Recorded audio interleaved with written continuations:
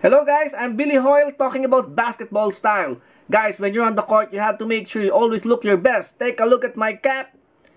It's the most colorful thing on the court.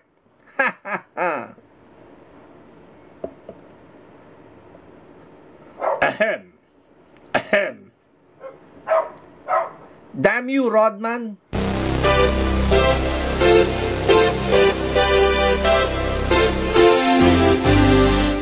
Today we're going to be unboxing and reviewing the Billy Hoyle Funko Pop from the classic basketball comedy White Man Can't Jump directed by Ron Shelton. But before we continue, don't forget to like, share, comment, and subscribe so you will be updated when new reviews come out. Billy Hoyle, played by Woody Harrelson, was a wise streetball hustler on the run from gangsters. In the movie, he teams up with Sidney Dean, played by Wesley Snipes, a black street baller, to compete in 2-on-2 tournaments in Venice Beach.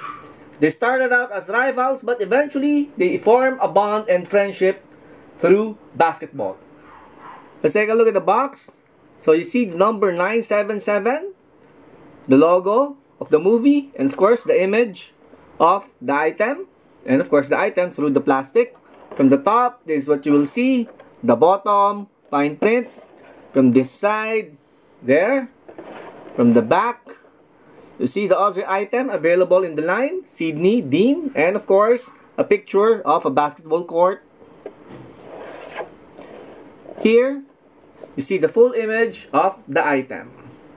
And you have a fence, a chain fence, as some sort of background with a basketball ring. Let's take it out of the box. Let's take a closer look at the Billy Hoyle Funko Pop. So this is what you see here in the front. Okay. You have this nice detail here with the hair coming out of the cap. And of course, you have this very colorful cap. He's holding a basketball. Now, originally in the movie, there's a statement here in the shirt. But of course, there might be some copyright issues. That's why Funko Pop did not include the words. And there's a nice detail here uh, I don't think you might be able to see it, but there's some ragged part here, which is accurate. So you have the sneakers. Then there's a nice detail here. You have a pouch or a pocket. So this is what you see from the side, the back. Nice colors.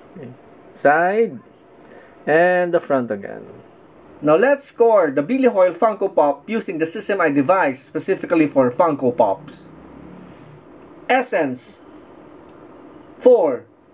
The Funko Pop was able to capture the look of Billy Hoyle in the movie from the backwards cap and the outfit. This one looks like Woody Harrelson's character. The only thing that prevented it from getting a 5 is that the pop had a static pose. A more dynamic shooting or passing pose would be better. Details and paint job. 4. They did a good job with the paint of this pop and what's more is that the hair jutting out of the cap adds a great detail to the figure. Although I would prefer that they included the words in the shirt of Billy Hoyle.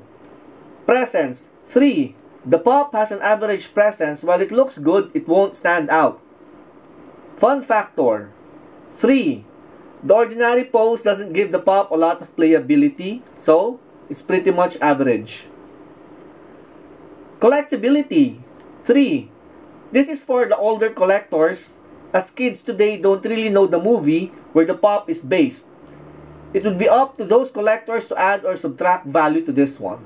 So it's pretty much a gamble. Should you get this? I think it is more for fans. You can pass on this one.